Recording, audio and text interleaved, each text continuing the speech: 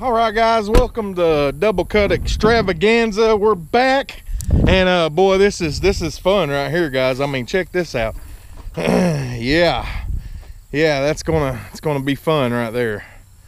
Gonna be fun, fun, fun. Uh, actually, we're going to this property over here uh, to trim behind the fence line and mow. So, uh, still gonna be Double Cut Extravaganza. So let's get going.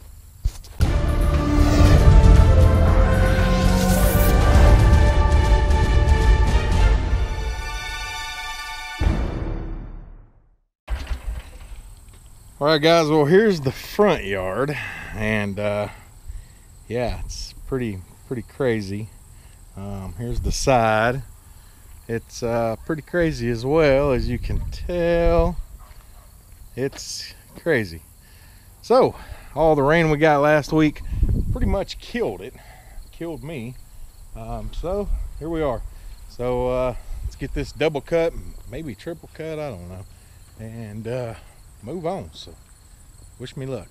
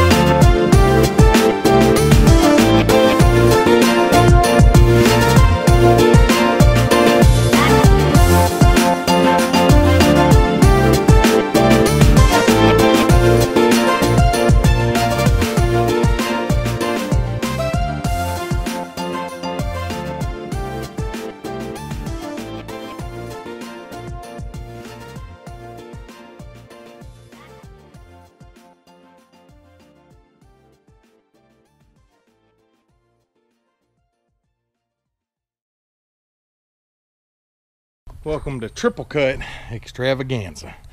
There she is, nice and neat. We're gonna go get the blower. Always, always blow off your fences. And uh, yeah, so Triple Cut Extravaganza is what that was. And I hope y'all enjoyed it because man, that was crazy. Crazy. But guess what? It looks good now. That's all that matters. So uh that's gonna do it for this one, guys. Like, comment, subscribe, and we'll see you in the next one.